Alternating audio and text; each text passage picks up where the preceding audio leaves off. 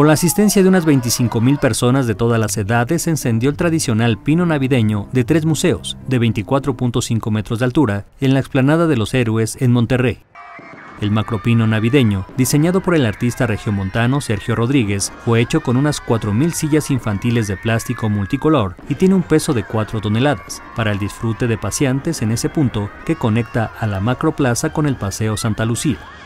Al evento acudieron Adalina Dávalos, presidenta del patronato DIF Nuevo León, Ricardo Marcos, presidente del Consejo para la Cultura y las Artes de Nuevo León, Magdalena Cárdenas García, directora general del Museo de Historia Mexicana, y Claudia Yarte de Fernández, presidenta del patronato de los tres museos. Con información de Plácido Meléndez, corresponsal en Monterrey, Notimex.